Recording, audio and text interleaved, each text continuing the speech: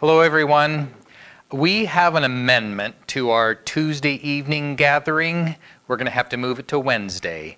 Uh, double booked, and so our scheduled meeting for uh, getting together, one adult from each family, to discuss uh, what we're doing moving forward, will be this Wednesday evening at 7 o'clock here at the church, and not on Tuesday. So uh, remark your calendars. Sorry about that.